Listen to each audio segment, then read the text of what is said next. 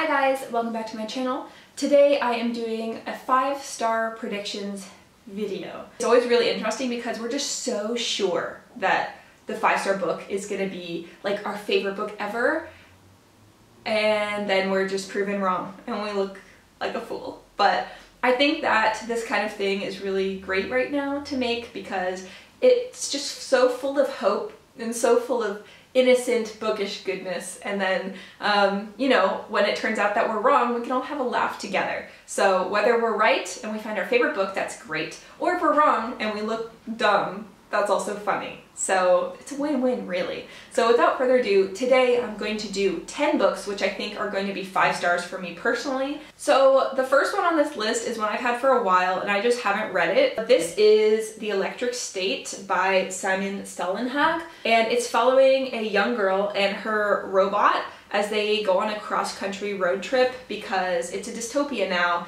and everyone is kind of uh, stuck into the virtual world. So it kind of looks like this.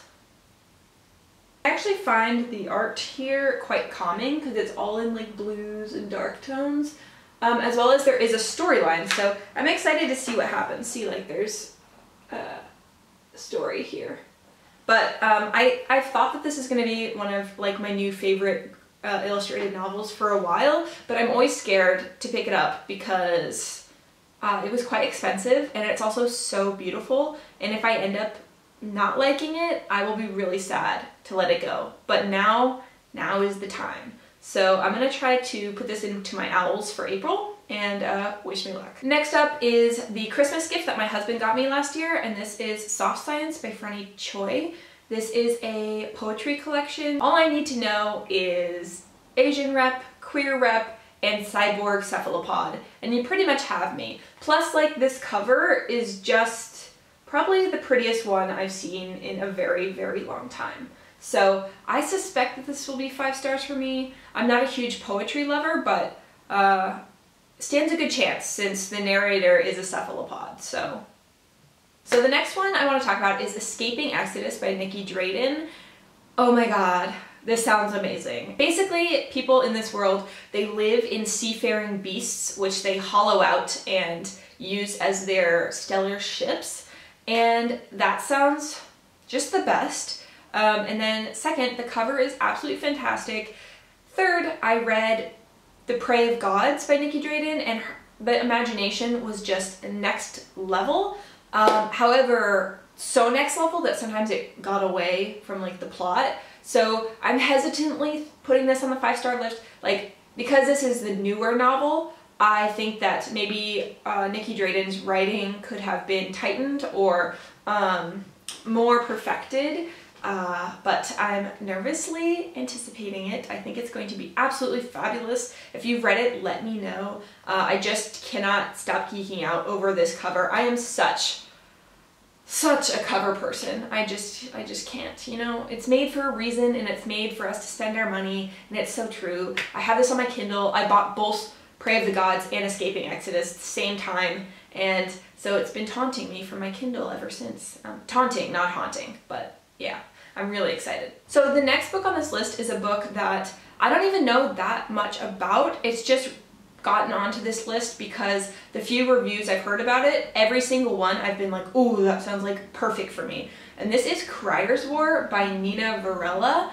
So basically there was this huge war versus um, versus humans. Automae are like machines, kind of cyborgs, and they won. So now the human kind is subjugated and there are two female one Automae, one human, and they are on opposite sides, but then it's a hate to love. And like, that's all I need to know. And there's so many things. I have a, such a soft spot for like cyborgs, Automae, AI, and humans, and especially Sapphic. Like, oh my god. Is it Sapphic if it's a robot? Hmm, I don't know. Next one is one that I found at, I think it was Target or Big W, which is basically like kind of some of the cheapest place to get books in Australia. And this is The Binding by Bridget Collins. I had heard about this, but I hadn't seen it in the stores. First off, the cover is just, I am a sleut for a beautiful cover. And this is just amazing. I hope that it's like the book uh, that I hated, which was A Starless Sea. I hope it's kind of like that, but, you know, way better.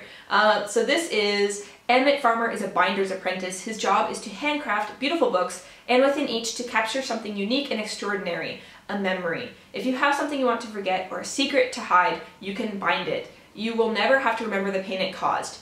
In a vault under his mentor's workshop, row upon row of books and secrets are meticulously stored and recorded. Then, one day, Emmett makes an astonishing discovery. One of the volumes has his name on it. And I know that this also has queer elements and books and a key and libraries. So I love it so much and I can't wait to read it. So my next five-star prediction is Fierce Fairy Tales by Nikita Gill. Nikita Gill's poetry collection, uh, Your Heart is the Sea, is um, my second favorite book of the year currently and it blew me away. It's not a book, it's a poetry collection, but you know what I mean. This is um, fairy tales retold through a feminist queer lens and I'm so ready for it. It's again a poetry collection, but I think that we can all agree that the cover is beautiful and feminist fairy tales are excellent and I'm just really, really excited. because I know that I loved her first poetry collection that I read so much, I have uh, perhaps naively high hopes that this will be as good or better. Also, another book that I picked up from the library that I think is going to blow my freaking socks off uh, is Bunny by Mona Awad. I have wanted to read this for the longest time, ever since uh, Books and Lala, Kayla, she was talking about it and raving about it and it's about an English uh, master's program where there's this like clicky group of girls that call themselves the bunnies and this girl like can't get into the group, then she does get into the group, and then there's like dark stuff happening.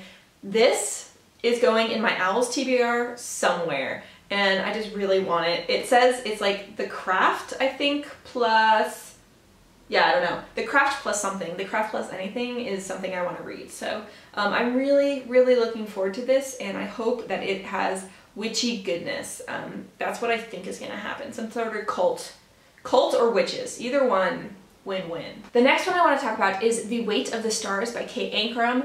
This has been on my list forever since I read The Wicker King by her and really, really loved it. Uh, however, The Weight of Stars is about two girls who live, uh, I believe, in this trailer park at the edge of town, and one girl is all kind of dreaming of the stars and she wants to be an astronaut when she meets this other girl who's new to town and the reason she moved there is because her mom recently went up as an astronaut into space and is communicating with her through signals that she's sending from like the roof of the trailer and that's how they meet and I just I really want to read it so so badly. Can't find it at any local bookstores though. It's not at the library and I really want a physical copy because I think I'm gonna love it. Like that's how much. So I don't want to buy it on Kindle because I'm pretty sure I need it physically.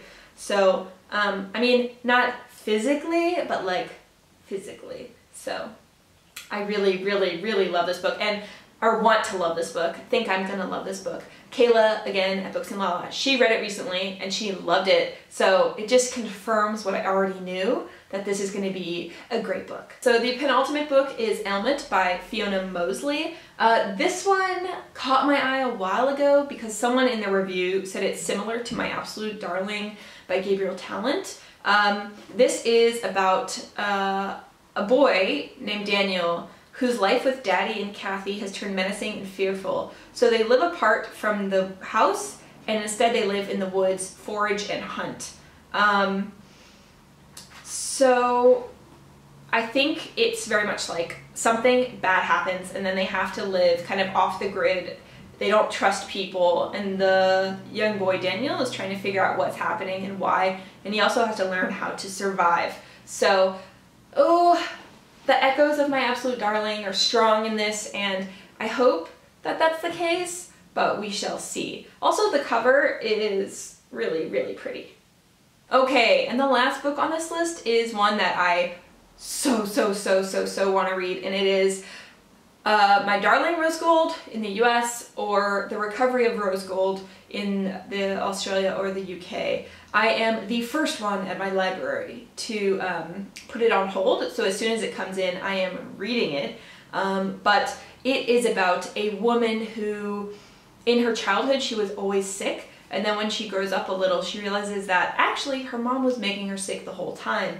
Munchausen's by proxy. And her mom actually goes to jail for this. And we, as the book opens, her mom is being released from jail and doesn't have anywhere to go. And the mom's like, hey, can I come back into your life? Because the mom wants to start controlling her again. And everyone, like her friends, other family, are like, no, don't do it. Your mom's obviously crazy uh, and wants to hurt you. And uh, the woman is like, no, I've got it.